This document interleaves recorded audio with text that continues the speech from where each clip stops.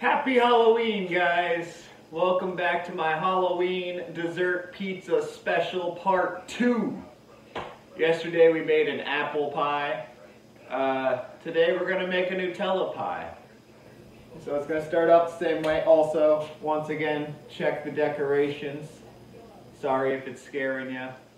Uh, but once again, we're gonna start with a ball of handmade, homemade dough. Get all that stretched out for you. And uh, show you the finished product when we're done here.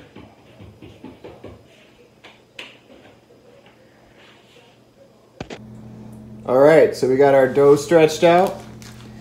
Um, I put some Nutella in a bag here. So we can just easy squeeze on here. So we'll get a nice uh, foundation, nice base. I'll come back when it's done. All right, we got it spread. I'm not gonna lie, that was not easy to spread, but uh, we managed. Got some of our crumblies here left over from yesterday from the apple pie. We're gonna put it on there, give it a little bit of texture, you know, a little bit of crunch. Don't need as much as yesterday.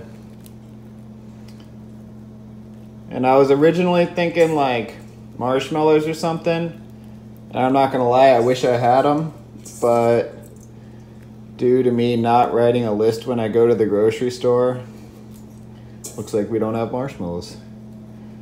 All right. Got the oven at 400. Let's slide it in. We'll see how it looks in a little bit. All right, it's ready. Oh yeah. Nutella. Smells chocolatey good.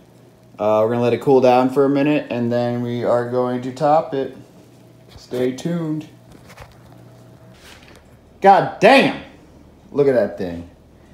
Chocolatey, icing, got the graham cracker crunch in there. That thing is gonna be slapping, bopping.